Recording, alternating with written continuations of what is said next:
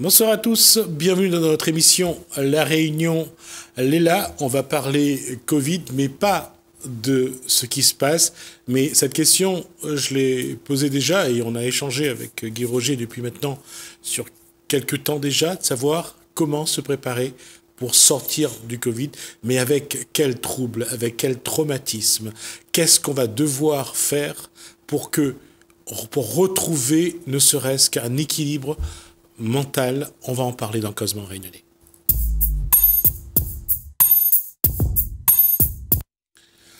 Là, à chaque fois qu'on essaye de parler de, traumatisme, qu'on parle de troubles psychologiques, on a l'impression de se dire, moi je suis pas fou. Ben, quelque part, euh, je dois être cinglé parce que j'y reviens à chaque fois. Bonsoir Guy Roger. Bonsoir Jasmine. De nous deux, qui est le plus cinglé euh Je crois que le plus cinglé, c'est celui qui ne sait pas qu'il est cinglé. Et c'est vrai que cette question, parce qu'on l'a posée déjà plusieurs fois, comment sortir du Covid Quelles vont être les, conséquences psychologiques hmm. de, cette, euh, de tout ce qu'on a vécu depuis le mois de mars hmm. euh, sur le territoire français Qu'est-ce qu'on va devoir faire pour retrouver un équilibre je l'ai entendu sur, sur le, plateau des, des télévisions euh, nationales. Euh, eux aussi, actuellement, ils ont, commencé à, discuter de ça. C'est drôle, on n'est pas encore sorti de ça, hmm. mais ça inquiète déjà beaucoup de monde. C'est dans quel état psychologique hmm. on va sortir de, ce, de cette pandémie? La pandémie, à mon sens, elle a été faite en dépit du bon sens. Et c'est tout ce qui s'est passé durant tous ces moments qui ont été vécus, qui a créé en nous une psychose. Parce qu'on nous a fait peur. Il y a eu la peur. La peur d'avoir peur de la peur qui fait peur. Donc on, est, on était subjugué par tout ça. Et on a voulu faire quelque chose pour croire que ça, ça va bien, donc on a mis le masque, on a fait plein de choses, on a été en, confinement, on a été tout ça. Mais en fait, on s'est détruit nous-mêmes parce que, en fait, on, a cru à ça.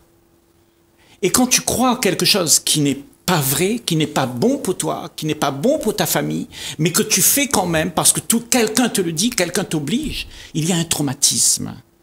Ce traumatisme, ça vient de celui qui a accepté le mensonge sans regarder à les faits, la vérité, le, fait normal des choses. Parce que je ne dis pas qu'il n'y avait pas de coronavirus. Il y en a. Mais ça veut dire qu'on a exagéré, on a pris peur et on a vécu avec la peur. Et quand tu vis avec la peur, eh ben, tu crées la peur autour de toi. On va pas jeter la pierre à l'État qui, qui avait besoin d'informer, de communiquer, d'essayer de formater les gens pour qu'ils suivent les, les règles que l'État met, met, en place encore. Comment Parce que lorsqu'on veut, on veut faire bouger la foule, il faut des méthodes, des stratégies. Il y a eu quand même beaucoup de, de manières de faire. Euh, un jour c'était comme ça, après il fallait faire comme ça. Euh, le, le, je veux dire, la population a quand même été bien baladé. Oui. Et la, la population a accepté cette euh, façon d'être euh, manipulée. On a vu, on a vu, euh, Gismi, tous les mensonges qui ont été prodigués sur ce truc-là. On t'a dit de faire des choses qui semblaient complètement aberrantes. Tout le monde ne savait que c'était aberrant. OK? Mais tout le monde a accepté quand même. Parce qu'il n'y a que l'État qui savait. Ils savaient, ils savaient, oui, on pense qu'ils savaient. Ils t'ont dit qu'ils savaient, mais ils savent rien. Ils savaient comment faire pour que tu sois sous contrôle. Pour, pour pas que tu fasses des choses, ok, qui, qui, qui soient trop à découvert par rapport à, à ce qu'ils veulent eux mettre en place. Tu, tu sais, tout ça, ça a permis à l'État de promouvoir quelque chose qui soit autoritaire. Quelque chose qui autorise tout le monde à dire à quelle heure tu dois manger, à quelle heure tu dois boire, à quelle heure tu dois te coucher, à quelle heure tu dois, comment tu dois réagir avec ton enfant. Ils ont trouvé le moyen pour, pour faire en sorte qu'ils puissent mettre ça en place. Et aujourd'hui, nous sommes des moutons. On se balade avec des masques et tout ça. la moitié du monde dit c'est pas c'est pas nécessaire, l'autre moitié dit c'est nécessaire, on sait plus où est la vérité. Parce qu'il y a eu des mensonges de partout qui a été dit et jamais il y a eu quelque chose de, de vrai. Mais justement, le mensonge, c'est une méthode. Regardez, en Suède, au début, on avait dit pas de masque. Aujourd'hui, ils n'ont pas le choix de certains de, porter le masque. C'est pas une obligation, mais c'est fortement conseillé. J'ai toujours aimé ça. C'est pas une obligation, mais c'est fortement conseillé. à chaque fois, c'est. Moi, je me suis toujours dit, il faut quand même qu'ils essayent de, de décider, hmm. parce qu'ils donnent toujours l'impression à l'individu que c'est lui qui décide. Et dans tout, dans toute cette euh, communication, on ne, savait, on ne savait plus qui disait quoi. Hmm. Chaque fois, il y avait une, une voix euh, discordante ou hmm. dissonance. Et à l'arrivée, chacun avait droit de dire quelque chose, mais on ne savait jamais si c'était la vérité. Tout le monde te dit comment il faut faire, mais en fait, personne ne sait. C'est comme, tu sais, tu vas pas besoin d'aller dans les gouvernements pour faire ça. Hein. Tu vas autour de toi, dans ta famille, dans tes, tes relations aujourd'hui, dans notre société. Tout le monde te dit comment il faut te comporter, mais personne ne se comporte comme ça. Tout le monde dit aimez-vous les uns les autres, mais tout le monde n'aime pas, on s'en fout de ça. Tu comprends le problème dans notre société? C'est que nous avons dit tellement de mensonges que nous ne savons plus c'est quoi la vérité. Chacun d'entre nous, on est hagard, on est perdu dans tout un, un de mensonges, contre-vérités, de contradictions et tout ça. On ne sait plus. Donc tout le monde se méfie les uns des autres. On ne se parle plus. Et on est arrivé dans un stade où tout le monde va dire, moi, ma maison, mon confort, ma sécurité, eh bien c'est ça qui compte pour moi. Et c'est ce que, tu vois, tout ça a fabriqué dans l'être humain. L'être humain est devenu individualisé et tout le monde se méfie les uns des autres parce que on n'a pas quelque chose qui, pour se tenir dessus. On est vacillant. On est on, cherche quelque chose. Vacillant. Le mot est, le mot est, j'allais dire, est bon pour ce que je vais dire. Hmm. Parce que l'être humain, au sortir du Covid, il aura tellement été ébranlé par sa peur, hmm. par des informations qui venaient dans toutes azimuts, avec parfois pas de certitude, avec surtout parfois beaucoup de je ne crois pas à ce qu'il dit, mais je vais être obligé de le faire parce que je ne sais pas mm. ce qu'il y a à faire. Et on le voit avec l'arrivée du vaccin. Mm. Au début, personne ne voulait. Mm. Maintenant, ça arrive doucement en France. Euh, ça commence à prendre du retard dans la, production. On, vaccine, on ne vaccine pas aussi vite que l'on croit. Et à l'inverse, on voit que en face, ben, ceux qui voulaient pas se faire vacciner, peu à peu, ils acceptent de se, faire vacciner. Quelque part, la communication même du gouvernement, elle, est efficace. Oui, parce que tout ça, c'est... Il y a un but. Tout ça, c'est le but qu'il y a plus de contrôle, plus ceux qui ont la, la capacité de se faire de l'argent, de la notoriété, eh bien, ils sont dans cette position-là. Et tout est fait en sorte dans notre monde pour que ceux qui peuvent ramasser le plus puissent le faire. Et pourquoi ils peuvent le faire? C'est parce qu'ils ont des gens qui les soutiennent.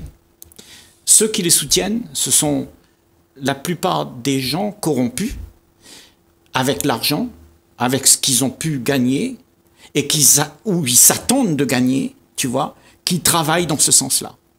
Nos sociétés ne travaillent, le gouvernement ne travaille pas pour toi. Il ne faut pas croire ça ils travaillent pour, pour eux-mêmes, pour leur Ou ceux qui les mettent en place pour permettre de s'enrichir encore. Oui, parce que quand tu mets quelqu'un en place pour te défendre et que tu t'aperçois qu'il te raconte des bobards et qu'il est emprisonné lui-même avec toutes les histoires qu'il euh, est pris dedans, tu sais, l'envergure de tous les mensonges et puis il, y croit aussi, il commence à y croire aussi, tu vois, et que toi tu te retrouves sans rien, eh ben il y a un problème dans notre gouvernement qui c'est qui va, qui c'est qui va être pour le peuple? Alors, la question est là. Pour le peuple, généralement en politique, même si euh, politique, ça veut dire gestion de la cité. D'accord. Aujourd'hui, on va pas se voiler la face. Les politiques qui s'occupent vraiment, qui viennent vraiment pour la gestion de la cité, mm. il y en a plus beaucoup. Ouais. Enfin, moi, je fais pas de politique. Non, non, non, non, je fais pas de politique. Je reviens sur, sur le fait. Oui. Est-ce que c'est pas à la population, justement, et là, quand je parle de la population, chaque individu de s'occuper d'abord de sa santé Exactement. C'est ça, c'est ça la question. Puisqu'on ne peut pas s'appuyer sur les politiques, hmm. on, ne peut, on, ne peut, pas s'appuyer sur les décideurs. Hmm. Qui peut décider pour nous si ce n'est pas ah, nous-mêmes? Actuellement, est-ce que c'est la politique qui doit s'occuper de la santé? Normalement, oui. La politique s'occupe de la santé de toi, de ta santé à toi Normalement, oui. Ils sont concernés pour ta santé mhm. Est-ce qu'ils sont concernés pour ta santé bah, Le Covid montre bien. Je suis désolé, tu peux mais... quand tu veux, tu vas m'avoir en face de toi. oui, oui. Non, mais tu vois, le problème, c'est que dans, dans, notre dans ce jargon euh, politique, tout ça, où tout le monde veut euh, mettre sa petite graine dedans, et, mais c'est toujours la graine de quelque chose qui a un intérêt. Mais ce n'est pas fait pour, euh, pour, pour la santé. C'est fait pour l'argent. C'est fait pour, pour que... Je suis d'accord. mais c'est pour ça que je voulais pas lâcher le morceau. Parce que l'individu, est-ce que en ce moment, avec le Covid, est-ce qu'il pense vraiment à sa santé? Est-ce qu'il, même avant le Covid d'ailleurs, est-ce que l'individu avait, se, pouvait se poser un moment et dire qu'est-ce que je dois faire pour ma santé? Est-ce qu'il le faisait déjà? Tu sais, quand quelqu'un s'occupe de sa santé, quand quelqu'un s'occupe de son bonheur, ça veut dire qu'il cherche quelque chose pour se protéger. Ok? Celui qui ne s'occupe pas de ça, celui qui n'est pas embrigadé avec la peur de ne pas mourir, de la peur de, tout ça, d'attraper le Covid, tout ça, celui-là, il a plus la faculté de venir vers toi avec un sourire et rendre la situation joyeuse. Tu vois, aujourd'hui, toutes situations sont confrontées à nos peurs.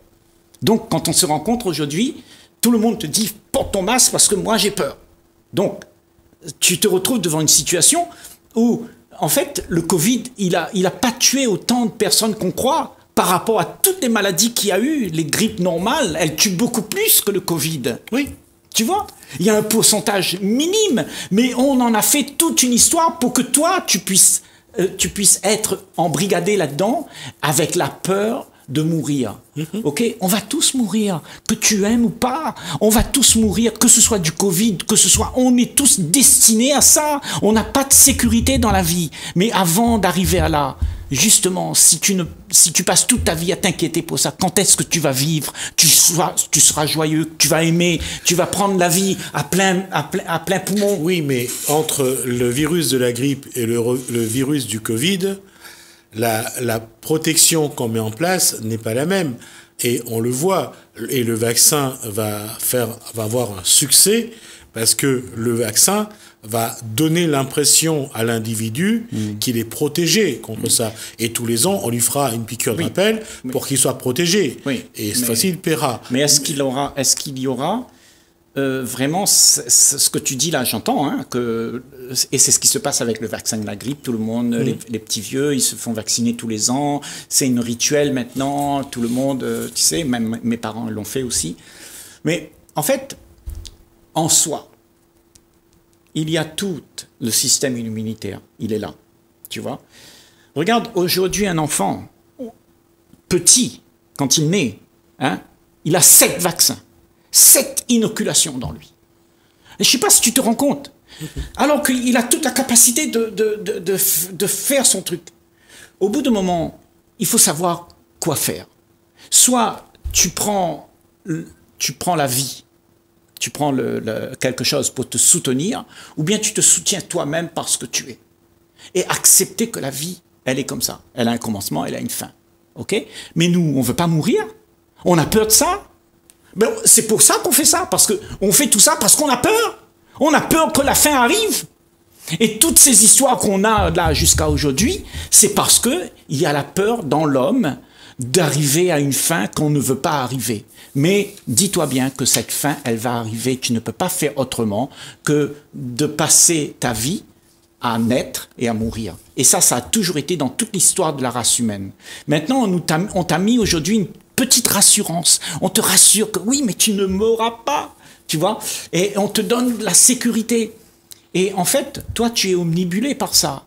Et donc, tu deviens, euh, tu as envie de tout ça parce que ça te donne une promesse, la promesse de la vie. une promesse de la vie qui durera un peu plus longtemps. Tu vois Mais tu vois, la vie, quand tu vis la vie comme ça, eh ben c'est pas la vie ça, c'est la vie que tu aimerais. Mais la vie que tu as, c'est pas ça. Est-ce que justement, là, est comme chacun doit définir, d'avoir sa définition de la vie, hmm. euh, c'est peut-être ça qui va poser un problème. Parce que se définir, dans, définir la vie d'abord, dans, avec ses éléments, avec son savoir, avec son expérience, on ne peut pas avoir la même définition de la vie. Oui, parce qu'on le définit à travers nos expériences. Mais l'expérience te dit ce que la vie sera. L'expérience ne te dit pas ce que c'est la vie. L'expérience, tu enregistres ce que tu as vécu et après tu as une référence pour ce que c'est la vie. La vie, c'est pas ça. La vie, c'est pas ce que tu as vécu. La vie, c'est quelque chose qui se passe d'instant en instant et elle se meut. Elle n'a pas hier, elle n'a pas demain. Ça, la vie. Vivre comme ça, ça veut dire sans hier et sans lendemain.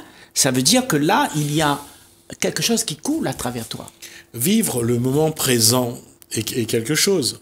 Mais l'être humain, ce qu'il a vécu de bien aujourd'hui, il espère le répéter demain, après-demain et ainsi de suite. Donc le moment que tu dis, vive le moment présent, c'est une mode de le dire. Puisque, comme tu dis, tout le monde veut quelque chose demain. Donc, moi, je dis que ce moment présent-là, il faut arrêter d'en parler de cette manière-là et de croire que nous vivons dans le moment présent. On ne vit pas dans le moment présent. On vit avec les histoires qu'on a eues et on les répète, on les répète et on les répète. On aura l'occasion de, bien définir, de bien revenir là-dessus dans, les, prochaines émissions, euh, Guy Roger. Mais il y a une chose qu'il va falloir quand même qu'on arrive à dire. Mm.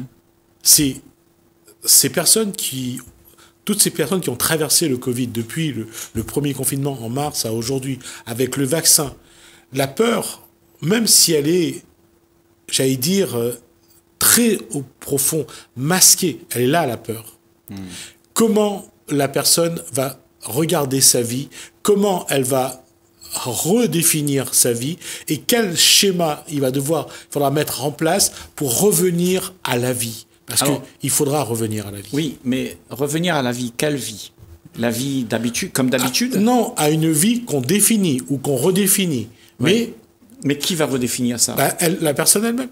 Oui, mais la personne elle-même qui va redéfinir la vie. Mmh. Avec quoi elle va redéfinir la vie? Avec ce qu'elle aime, avec ses désirs. Mmh. Et le désir, est-ce que la vie peut être destinée à un désir? Est-ce que le désir fait la vie? Ou bien c'est nous, c'est le désir qui fabrique une vie, mais la vie, elle, elle existe déjà. Pour, il n'y a pas besoin de revenir, il y a besoin de vivre. Arrêter, arrêter d'avoir peur et de vivre ce qu'il y a, mais pas vivre ce qu'on aimerait. Guy, la question est beaucoup plus simple, c'est-à-dire comment avoir des schémas qui rendent heureux, qui rendent bien, qui rendent une vie agréable. C'était ça la, question. Mais, mais, après, même dans ce que je viens de dire, c'est incomplet. Hmm. Parce que agréable, c'est pas agréable pour tout le monde. Je veux dire, euh, quelqu'un qui est dans la méditation permanente, quelqu'un qui travaille tout le temps, quelqu'un qui euh, euh, de, de, sa, de sa culture, de la peinture.